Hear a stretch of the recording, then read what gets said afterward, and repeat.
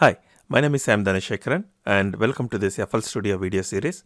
In this video, we will take a look at MIDI recording in FL Studio. MIDI. Musical instruments digital interface is used to connect devices such as MIDI keyboard and send signals.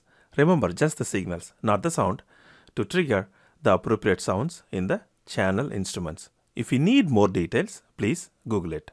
So, how do we record using MIDI?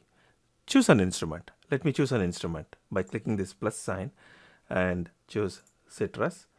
And if I do a right click, I can choose various options within this instrument plugin. So I'm going to choose, let's say,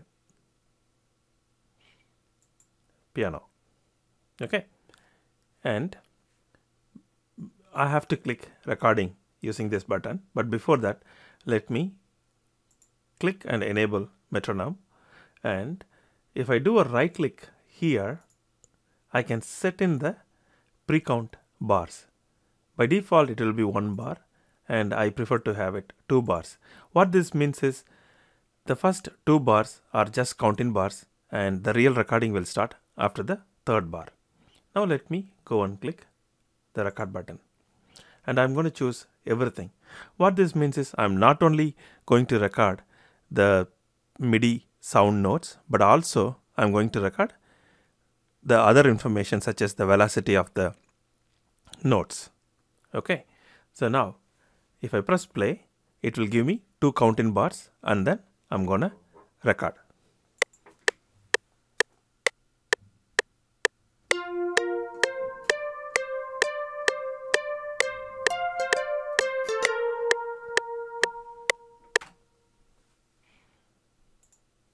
Okay, I disable recording now. Now here if I go to the channel rack and click here, I see the MIDI notes that I recorded using the MIDI keyboard.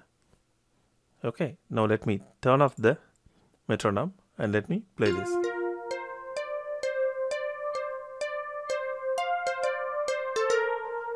So that's how you record MIDI using MIDI controller. Here I can edit the MIDI notes as if I would edit a Microsoft Word document. I will cover the editing part, which is basically this piano roll editing in one of the subsequent videos. But as of now, just try recording a simple pattern using your MIDI keyboard. Thank you.